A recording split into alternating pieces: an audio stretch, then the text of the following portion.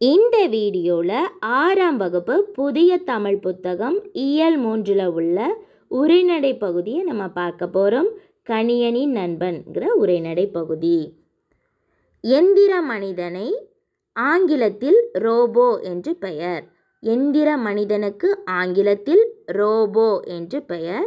Robot என்ற சொல்லுக்கு அடிமை என்று பொருள். ரோபோ என்ற சொல்லுக்கு அடிமை என்று பொருள். காரல் கபக் என்பவர் செக் நாட்டை சேர்ந்த நாடக ஆசிரியர். இவர் ஆயிரத்தி தொள்ளாயிரத்தி இருபதாம் ஆண்டு நாடகம் ஒன்றினை எழுதினார். அதில் ரோபோ என்ற சொல்லினை முதன் முதலாக பயன்படுத்தினார். ரோபோ என்ற சொல்லினை முதன் முதலாக பயன்படுத்தியவர் யாருன்னா காரல் கபக். இவர் செக் நாட்டை சேர்ந்த நாடக ஆசிரியர். ஆயிரத்தி தொள்ளாயிரத்தி இருபதாம் ஆண்டு நாடகம் ஒன்றை எழுதினார். அதில் ரோபோ என்ற சொல்லினை முதன் முதலில் பயன்படுத்தினார். ரோபோ என்ற சொல்லுக்கு அடிமை என்பது பொருள். மனிதர்கள் தம் வேலைகளை எளிதாக செய்ய முதலில் எந்திரங்களை கண்டுபிடித்தனர். அவற்றை இயக்குவதற்கு மனித ஆற்றல் தேவைப்பட்டது. இக்குறையினை போக்குவதற்காக மனிதன் கண்டுபிடித்தவையே தானியங்கிகள். எந்திரங்களை கண்டுபிடித்த மனிதனுக்கு அவற்றை இயக்குவதற்கு மனித ஆற்றல் தேவைப்பட்டது. அந்த குறையினை போக்குவதற்காக கண்டுபிடிக்கப்பட்டவையே தானியங்கிகள். பாக்ஸ் கொஸ்டினை நம்ம பார்ப்போம். தெரிந்து கொள்வோம். மனித முயற்சிகளுக்கு மாற்றாக தானே இயங்கும் எந்திரம் தானியங்கி ஆகும். தானியங்கினா என்னென்னா மனித முயற்சிகளுக்கு மாற்றாக தானே இயங்கும் எந்திரம். இவை தோற்றத்தில் மனிதரைப் போல இல்லாமலும் இருக்கலாம் ஆனால் மனிதர்களைப் போல செயல்களை நிறைவேற்றுகின்றன என்று பிரிட்டானிக்கா கலைக்களஞ்சியம் தானியங்களுக்கு தானியங்கிகளுக்கு விளக்கம் தருகின்றது. தானியங்கிகளுக்கு விளக்கம் தரக்கூடிய கலைக்களஞ்சியம் எதுனா பிரிட்டானிக்கா கலைக்களஞ்சியம். இது என்ன விளக்கத்தை தருதுன்னா தானியங்கிகள் தோற்றத்தில் மனிதர்களைப் போல இல்லாமலும் இருக்கலாம். ஆனால் மனிதர்களைப் போல செயல்களை நிறைவேற்றுகின்றன. நுண்ணுணர்வு கருவிகள். இதற்கு ஆங்கிலத்தில் சென்சாஸ் என்று பொருள். நுண்ணுணர்வு கருவிகள். இதற்கு ஆங்கிலத்தில் சென்சாஸ் என்று பொருள். இனி கேரி கேஸ்ப்ரோவை பற்றி நம்ம அறிஞ்சுக்கலாம். ஆயிரத்தி தொள்ளாயிரத்தி தொண்ணூற்றி ஏழாம் ஆண்டு மே மாதம் சதுரங்க போட்டி ஒன்று நடைபெற்றது. ஆயிரத்தி தொள்ளாயிரத்தி தொண்ணூற்றி ஏழாம் ஆண்டு மே மாதம் சதுரங்க போட்டி ஒன்று நடைபெற்றது. இதில் உலக சதுரங்க வெற்றியாளர் கேரி கேஸ்ப்ரோ என்பவர் கலந்து கொண்டார். ஐபிஎம் என்ற நிறுவனம் உருவாக்கிய டி ப்ளூ என்னும் மீத்திறன் கணினி அவருடன் போட்டியிட்டது. போட்டியின் முடிவில் டி ப்ளூவே வெற்றி வாகை சூடியது. இதிலிருந்து கேட்கக்கூடிய கேள்வி என்னென்னா ஐபிஎம் நிறுவனம் உருவாக்கிய மீத்திறன் கணினியின் பெயர் டி ப்ளூ. ஐபிஎம் நிறுவனம் உருவாக்கிய மீத்திறன் கணினியின் பெயர் டி ப்ளூ. ஆயிரத்தி தொள்ளாயிரத்தி தொண்ணூற்றி ஏழாம் ஆண்டு மே மாதம் சதுரங்க போட்டி ஒன்று நடைபெற்றது. எந்த மாதம் நடைபெற்ற சதுரங்க போட்டினா மே மாதம்? எந்த ஆண்டுனா ஆயிரத்தி தொள்ளாயிரத்தி தொண்ணூற்றி ஏழு இந்த போட்டியினுடைய போட்டியாளர்கள் யாருனா உலக சதுரங்க வெற்றியாளர் கேரி கேஸ்ப்ரோ மற்றும் ஐபிஎம் நிறுவனம் உருவாக்கிய மீத்திறன் கணினி டி ப்ளூ. மீத்திறன் கணினியை ஆங்கிலத்தில் நம்ம சூப்பர் கம்ப்யூட்டர்னு சொல்லுவோம். மீத்திறன் கணினிக்கு ஆங்கிலத்தில் சூப்பர் கம்ப்யூட்டர் என்று பொருள். இந்த போட்டியினுடைய வெற்றியாளர் யார்னா ஐபிஎம் நிறுவனம் உருவாக்கிய மீத்திறன் கணினியான டீப்ளோ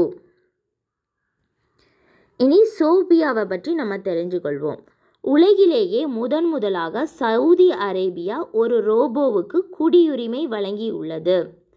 முதன் முதலாக ஒரு ரோபோவுக்கு குடியுரிமை வழங்கிய நாடு சவுதி அரேபியா.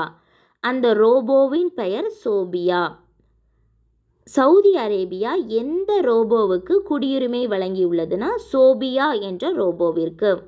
மேலும் ஐக்கிய நாடுகள் சபை புதுமைகளின் வெற்றியாளர் என்ற பட்டத்தை சோபியாவுக்கு வழங்கியுள்ளது.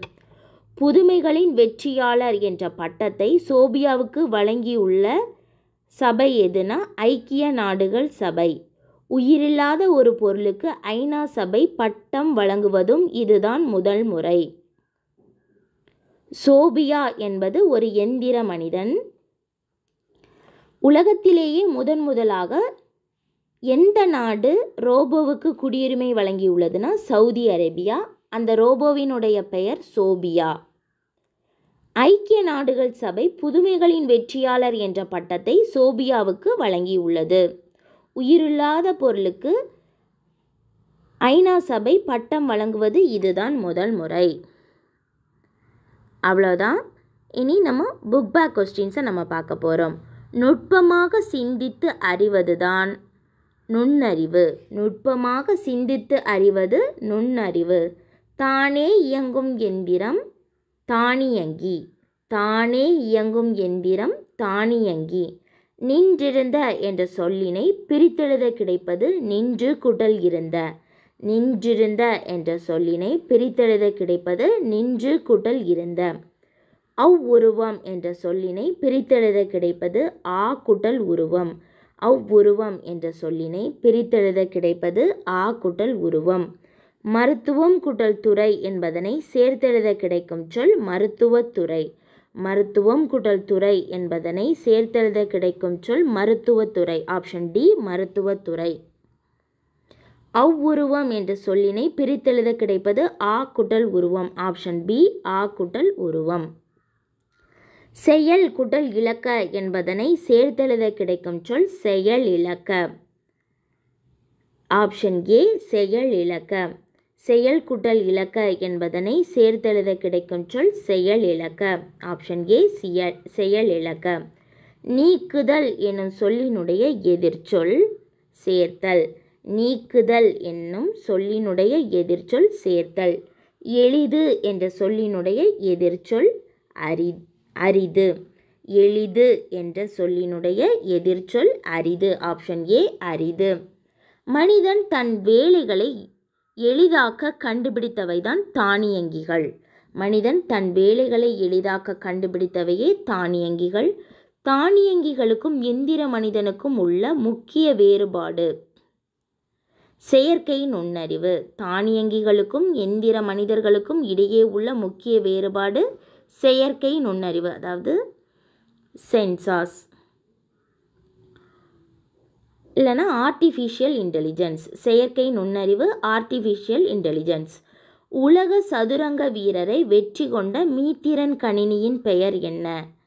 ஐபிஎம் நிறுவனம் உருவாக்கிய மீத்திறன் கணினி டி ப்ளூ உலக சதுரங்க வீரரை அதாவது உலக சதுரங்க வீரர் யாராட்ட இருந்தாருன்னா கேரி கேஸ்ப்ரோ இவர் ஆயிரத்தி தொள்ளாயிரத்தி தொண்ணூற்றி ஏழு மே மாதம் இந்த போட்டியானது நடைபெற்றது. உலக சதுரங்க வீரர் கேரி கேஸ்ப்ரோவுக்கும் ஐபிஎம் நிறுவனம் உருவாக்கிய மீத்திறன் கணினியான டி ப்ளூவுக்கும் இடையே நடைபெற்றது.